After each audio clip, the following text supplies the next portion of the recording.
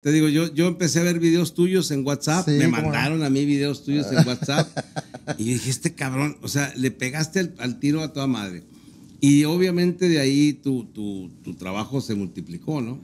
Fíjate que ya tuve la oportunidad de recorrer toda la República Mexicana, igual que tú, ¿verdad? Eh, gracias a Dios, porque pues uno anda, anda buscando el, el sueño, ¿no? De, de- de un día ser famoso. Te lo digo que yo sí lo busqué mucho tiempo. O sea, anduve en casting. Yo quería, yo- mi idea, yo quería ser actor. No galán, porque no lo soy, ¿verdad? Pinche López pasa, cabrón, no me estás viendo cómo estoy. me dijo, me dijo un vato, pinche, ay, hijo de la chingada, estás bien prieto, pinche piel de cartón mojado.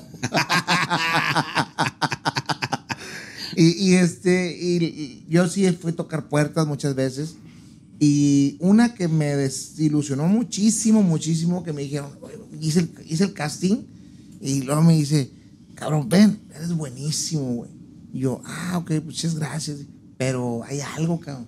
Dije, pues, me- es, dije, este vato me va a corregir, me va a decir, este, Nada más corrige esto, cámbiale aquí, güey, este. te esto. No, me dice, el color de tu piel no ayuda para la, para la televisión. No, no seas Sí, mamón, güey. ¿Quién te dijo eso, No, cabrón? no puedo decir el nombre. güey. Ah, su pinche madre, Sí, me güey, dijo. o sea. Y de ahí descubrí que realmente sí es cierto. El único negro que hay, yo creo que a lo mejor en la televisión es el negro Araiza, eh, pero ni tan negro como yo está.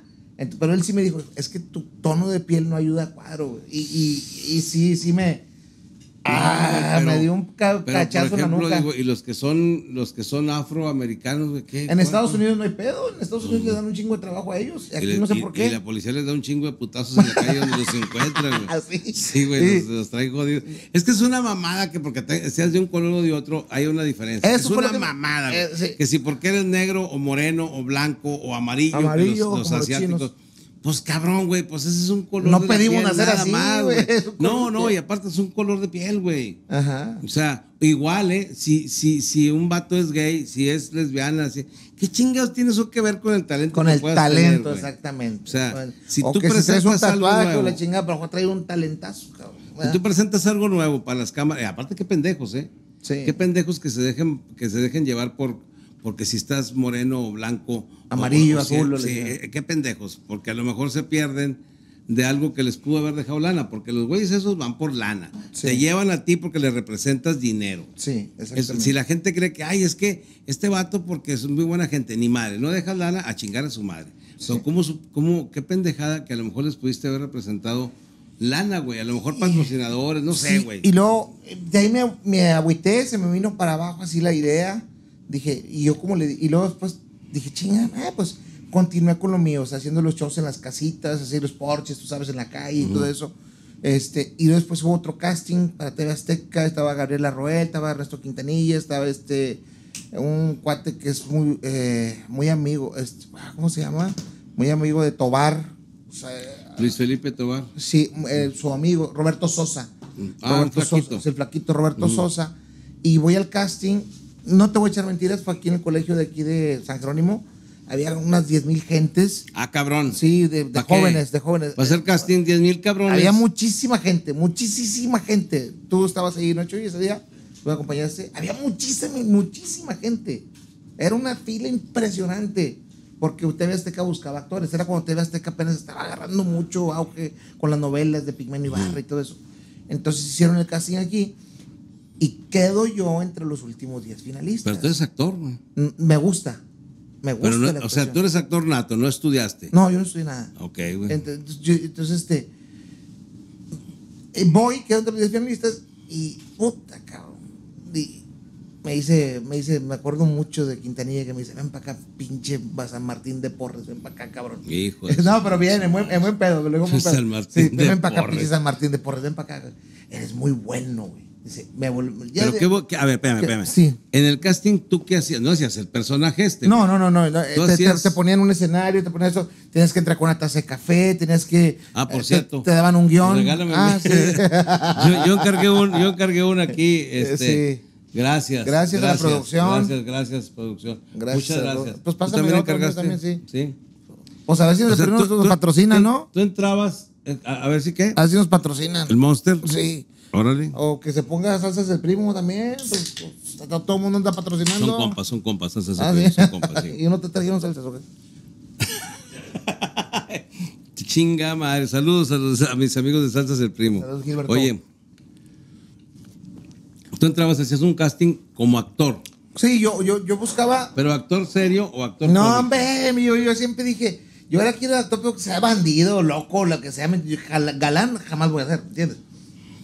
Entonces yo, yo, sí, yo, yo quería ser, ¿sabes? Yo tenía la idea de ser un, gal- de, ser un actor como Alfonso Sayas, el, el Lalo el Mimo, Sí, sí, como sí, el- sí. el De esos, vatos, de esos vatos de comedia. de comedia pícara, sexy, sí, la sí. chingada. Sí, Yo tenía, y Radamés y yo teníamos pensado, pues, que él sí lo sacó con otras personas.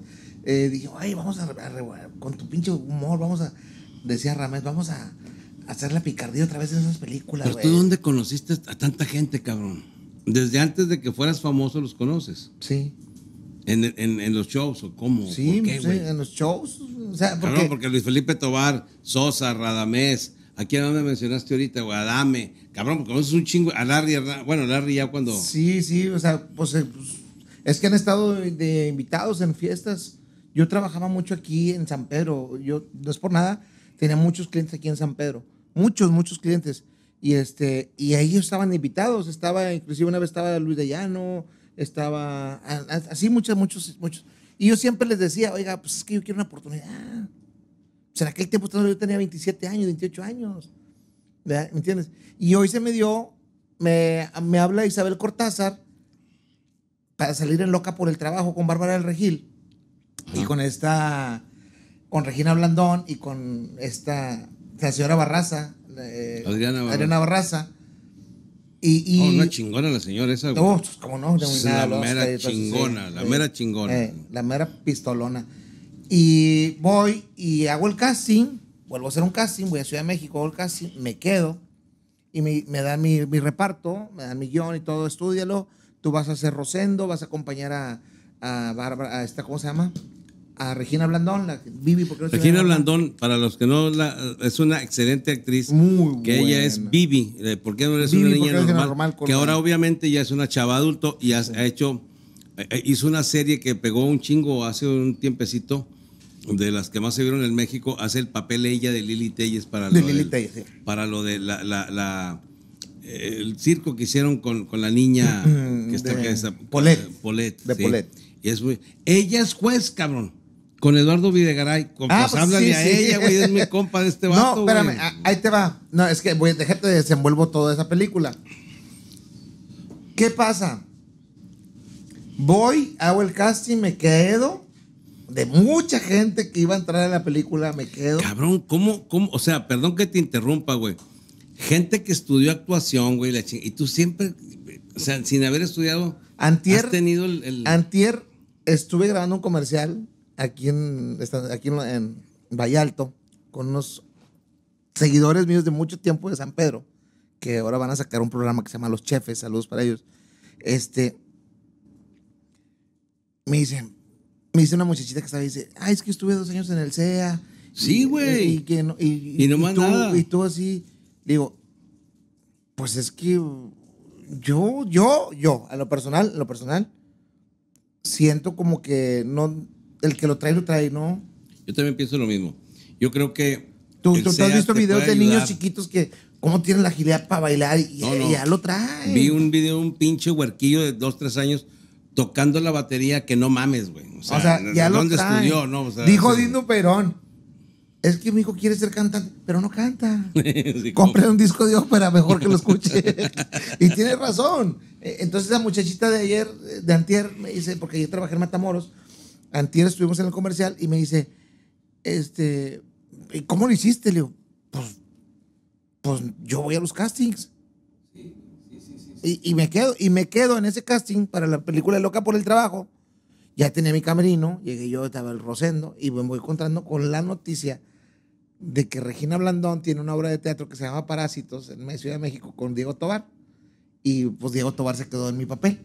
A lo mejor- Ah, la ch- y yo diciéndote, háblale a esta vieja para Sí. que te pregunta. Sí. Pues dime desde antes, cabrón, ya estoy cagando yo aquí, hombre. No, pero está bien, digo, qué bueno que, digo, que, que le dio oportunidad a su, a su amigo y todo. Huevo. Es bueno, Yo- eso- qué bueno. eso- eso- No era para mí a lo mejor todavía. No, y eso hay que, hay que reconocer que hay que darle la mano a los compas. güey. Sí, sí, claro. Yo sí estoy de acuerdo con eso. Claro. Ok, ven un vato, es talentoso, no lo conozco, y mi compa también es talentoso, pues meto a mi compa, güey. Así es el pedo, y Así ojalá es el así pe- siga todavía no siempre, te toca a ti. Porque las relaciones te dejan más que los, Sí, los y- amigos. Y, te digo, y no, va- tuve vale la, más que el no dinero. tuve la. Como yo nada más llegué fue a las 11 de la mañana, fue ahí en este en la zona rosa de Ciudad de México. Fue rápido, fue una- en una sex shop. Bueno, me dice, me dice el director Luis, oye, tú- entonces tú vas a entrar como cliente, ¿ok? No, sí está bien. Regina hablando de aquel lado y, y estamos haciendo la, la, la, la- la escena. Estamos haciendo la escena y este. Hicimos la escena así rápido, pum, entra Bárbara del Regil con su novio, que no me acuerdo cómo se llama el actor este, y que es que mira, te traigo aquí, le, le muestra el, pues todo lo que venden en una sex shop, ¿no? Y yo le digo a Regina, es que este para el llamamoscas y este para el cine esquinas, es lo que les gusta, y e, interactué un poquito con ella, ya, vente, vámonos, y zoom, salimos. Y ya, ahí se acaba mi escena. Entonces, al momento que sale la película, pues, vamos, va a salir la película, voy a salir la película. Cortaron mi... mi- Ingue su madre. Ni te avisaron ni nada, güey. Te invito a que te suscribas a mi canal y no olvides activar la campanita para que te lleguen videos y acuérdate de compartir.